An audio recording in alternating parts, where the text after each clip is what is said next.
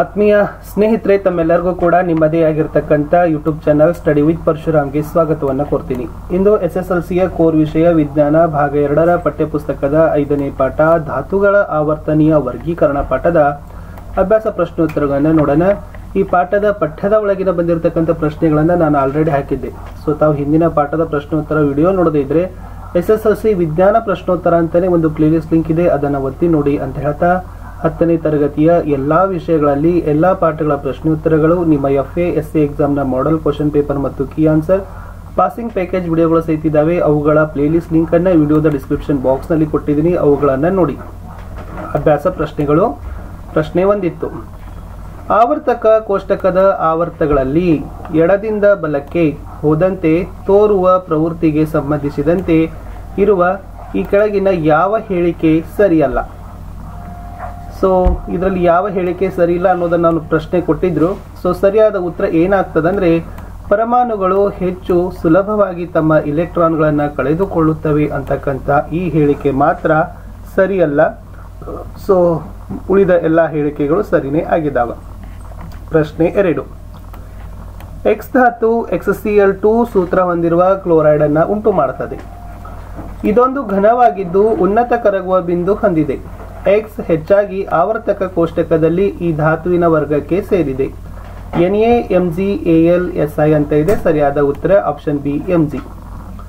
ಪ್ರಶ್ನೆ ಮೂರು, ಯಾವ ಧಾತುವಿನಲ್ಲಿ ಎ ಪ್ರಶ್ನೆ ಇತ್ತು?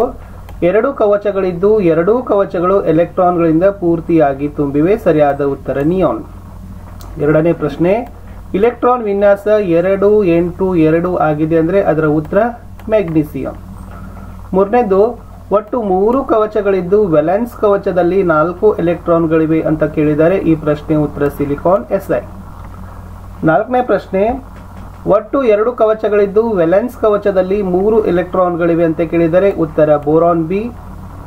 ಐದನೇ ಪ್ರಶ್ನೆ, ಎರಡನೇ ಕವಚದಲ್ಲಿ ಮೊದಲನೇ ಕವಚದ ಎರಡರಷ್ಟು ಎಲೆಕ್ಟ್ರಾನ್ಗಳಿವೆ ಅಂತ ಕೇಳಿದರೆ ಉತ್ತರ carbon C.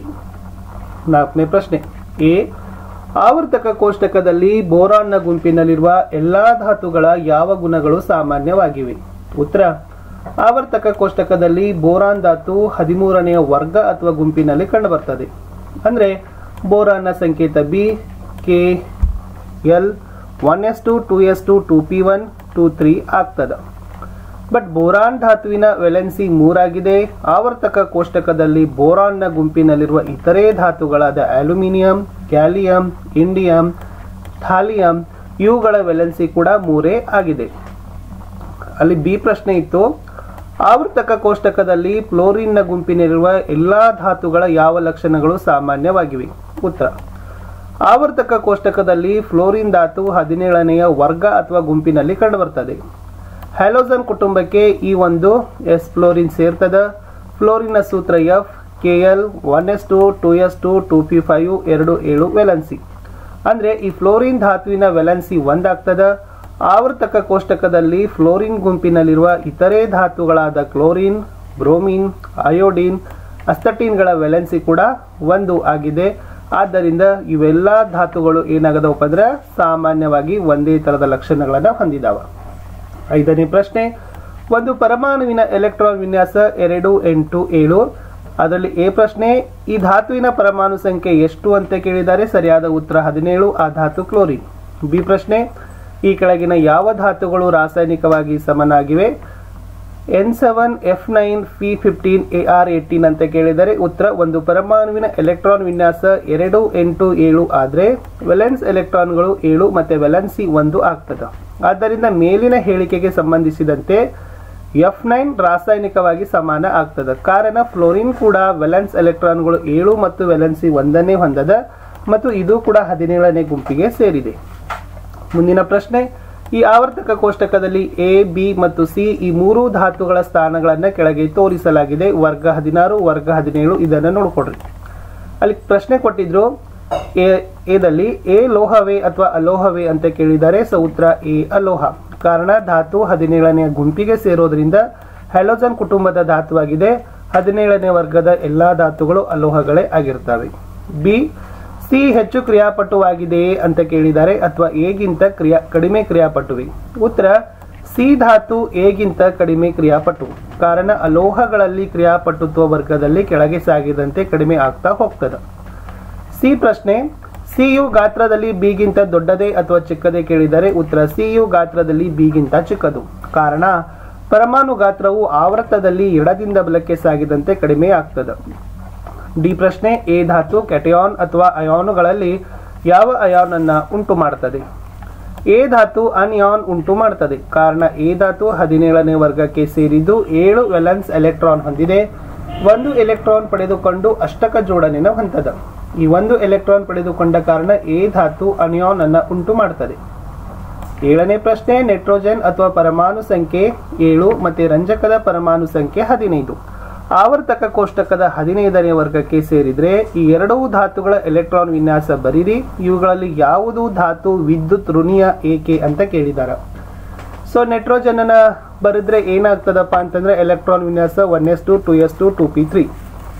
ರಂಜಕದ್ದು one S two two S two two P six three S two three. P three ಅಂದರೆ ಇಲ್ಲಿ ನೈಟ್ರೋಜನ್ನ ಧಾತು ವಿದ್ಯುತ್ ಋಣಿಯ ಆಗ್ತಾವ. ಕಾರಣ ಈ ಗುಂಪಿನಲ್ಲಿ ಕೆಳಗೆ ಬಂದಂತೆ ಅಲೋಹಿಯ ಗುಣ ಅಂದರೆ ವಿದ್ಯುತ್ ಋಣಿಯ ಸ್ವಭಾವ ಕಡಿಮೆ ಆಗ್ತದೆ.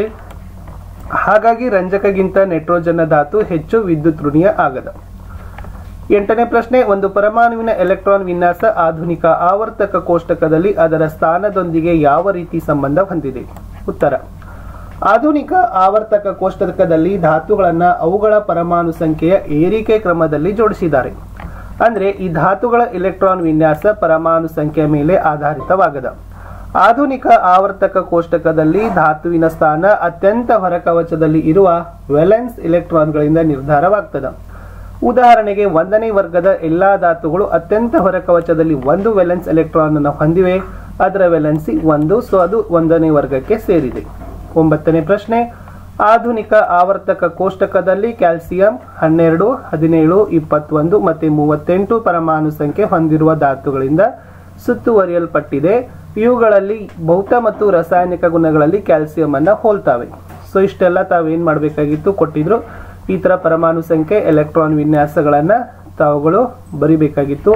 ಎಂಜಿದಿದೆ K C A S C S R ಕಡೆಗೆ ಉತ್ತರ ಏನಿತ್ತು? ಆಧುನಿಕ ಆವರ್ತಕ ಕೋಷ್ಟಕದಲ್ಲಿ ಕ್ಯಾಲ್ಸಿಯಂ ಧಾತುವಿನ ಭೌತ ಮತ್ತು ರಾಸಾಯನಿಕ ಗುಣಗಳನ್ನು ಪರಮಾಣು ಸಂಖ್ಯೆ ಹನ್ನೆರಡು ಅಂದ್ರೆ ಎರಡು ಎಂಟು ಎರಡರ ವೆಲೆನ್ಸಿ, ಇಪ್ಪತ್ತೊಂದು ಎರಡು ಎಂಟು ಒಂಬತ್ತು ಎರಡು ವೆಲೆನ್ಸಿ ಹೊಂದಿರೋ ಧಾತುಗಳನ್ನು ಹೋಲ್ತದೆ.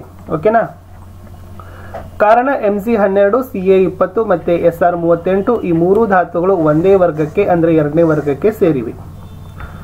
ಲಾಸ್ಟ್ ಕ್ವಶನ್ ಮೆಂಡಲಿವರವರ ಆವರ್ತಕ ಕೋಷ್ಟಕ ಮತ್ತು ಆಧುನಿಕ ಆವರ್ತಕ ಕೋಷ್ಟಕದ ಜೋಡಣೆಯ ಹೋಲಿಕೆ ಮಾಡಿ ವ್ಯತ್ಯಾಸ ತಿಳಿಸಿ ಅಂತ ಕೇಳಿದ್ದಾರೆ ಫಸ್ಟ್ ಬರೋದು, ಇಲ್ಲಿ ಮೆಂಡಲಿವ್ನಲ್ಲಿ ಪರಮಾಣು ರಾಶಿ ಏರಿಕೆ ಕ್ರಮದಲ್ಲಿ ಬರೆದ್ರೆ ಆಧುನಿಕದಲ್ಲಿ ಪರಮಾಣು ಸಂಖ್ಯೆ, ಧಾತುಗಳ ಪರಮಾಣು ಸಂಖ್ಯೆಗಳನ್ನ ಏರಿಕೆ ಕ್ರಮದಲ್ಲಿ ಬರೆದಿದ್ದಾರೆ. ಮೆಂಡಲಿವ್ ಅವರ ಆವರ್ತಕ ಕೋಷ್ಟಕದಲ್ಲಿ ಆರು ಆವರ್ತ ಎಂಟು ವರ್ಗ ಇದ್ರೆ ಆಧುನಿಕ ಆವರ್ತಕ ಕೋಷ್ಟಕದಲ್ಲಿ ಏಳು ಆವರ್ತ ಹದಿನೆಂಟು ವರ್ಗ ಇದ್ದಾವೆ ಆಮೇಲೆ ರಾಜಾನಿಲಗಳು ಆವಿಷ್ಕಾರವಾಗಿರದ ಕಾರಣ ಮೆಂಡಲಿವ್ ಆವರ್ತಕ ಕೋಷ್ಟಕದಲ್ಲಿ ಸ್ಥಾನ ಕೊಟ್ಟಿರಲಿಲ್ಲ. ಬಟ್ ಆಧುನಿಕವಾಗಿ ಏನಾಯ್ತಪ್ಪ ಅಂದ್ರೆ ರಾಜಾನಿಲಗಳ ಆವಿಷ್ಕಾರವಾದವು ಅವುಗಳನ್ನು ಹದಿನೆಂಟನೇ ವರ್ಗದಲ್ಲಿ ಸೇರಿಸಿದ್ದಾರೆ. ಸಮಸ್ಥಾನಿಗಳು ಬೇರೆ ಬೇರೆ ರಾಶಿ ಸಂಖ್ಯೆ ಇದ್ದರೂ ಅವುಗಳ ಆವರ್ತಕ ಕೋಷ್ಟಕದಲ್ಲಿ ಸ್ಥಾನ ಕೊಟ್ಟಿಲ್ಲ ಮೆಂಡಲಿವ್ ಬಟ್ ಹೊಸದಾಗಿ ಆಧುನಿಕ ಆವರ್ತಕ ಕೋಷ್ಟಕದಲ್ಲಿ ಪರಮಾಣು ಸಂಖ್ಯೆ ಆಧಾರದ ಮೇಲೆ ಜೋಡಣೆ ಆಗಿರೋದ್ರಿಂದ ಸಮಸ್ಥಾನಿಗಳಿಗೆ ಅದೇ ಧಾತುವಿನ ಸ್ಥಾನವನ್ನು ಕೊಟ್ಟಿದ್ದಾರೆ.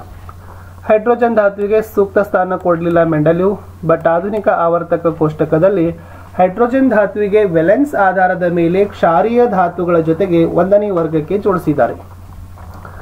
ಮೆಂಡಲಿವ್ ಆವರ್ತಕ ಕೋಷ್ಟಕದಲ್ಲಿ ಪರಮಾಣು ರಾಶಿ ಹೊಂದಿರುವ ಧಾತುವನ್ನ ಸ್ವಲ್ಪ ಕಡಿಮೆ ಪರಮಾಣು ರಾಶಿ ಹೊಂದಿರುವ ಧಾತುವಿಗಿಂತ ಮೊದಲೇ ಇಟ್ಟಿದ್ರು. ಆದರೆ ಆಧುನಿಕ ಆವರ್ತಕ ಕೋಷ್ಟಕದಲ್ಲಿ ಪರಮಾಣು ಸಂಖ್ಯೆ ಏರಿಕೆ ಕ್ರಮದ ಜೋಡಣೆ ಆಗಿರೋದ್ರಿಂದ ಈ ಸಮಸ್ಯೆ ಅವರಿಗೆ ಉಂಟಾಗಲಿಲ್ಲ. ಮೆಂಡಲಿವ್ ಆವರ್ತಕ ಕೋಷ್ಟಕ ನೆನಪಿನಲ್ಲಿಡಲು ಸುಲಭ ಮತ್ತು ಪುನಃ ಹೇಳಲು ಕಷ್ಟ ಅಂತ ಹೇಳ್ತಾರೆ. ಬಟ್ ಆಧುನಿಕ ಆವರ್ತಕ ಕೋಷ್ಟಕ ನೆನಪಿನಲ್ಲಿಡಲು ತೀರಾ ಸುಲಭ. ಪುನಃ ಅದನ್ನು ಹೇಳಬಹುದು ಅಂತ ನಾವೇನು ಮಾಡಬಹುದು ಬರಿಬಹುದು.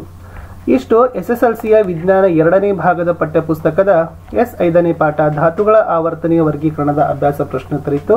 ವಿಡಿಯೋನ ಲೈಕ್ ಮಾಡಿ, ನಿಮ್ಮ ಫ್ರೆಂಡ್ ಸರ್ಕಲ್ಗೆ ಶೇರ್ ಮಾಡ್ಲಿಕ್ಕೆ ಮರೆಯದಿರಿ. ನನ್ನದೇ ಒಂದು ವಾಟ್ಸಪ್ ಚಾನಲ್ ಮತ್ತು ಟೆಲಿಗ್ರಾಮ್ ಗ್ರೂಪ್ನ ಲಿಂಕ್ ಅನ್ನು ಕೊಟ್ಟಿದ್ದೀನಿ, ಅದಕ್ಕೂ ಕೂಡ ಬಂದು ಜಾಯ್ನ್ ಆಗಿ ಅಂತ ಹೇಳ್ತಾ ಮತ್ತೆ ಸಿಗ್ತೀನಿ ಹೊಸ ವಿಡಿಯೋದಲ್ಲಿ ಅಲ್ಲಿವರೆಗೂ.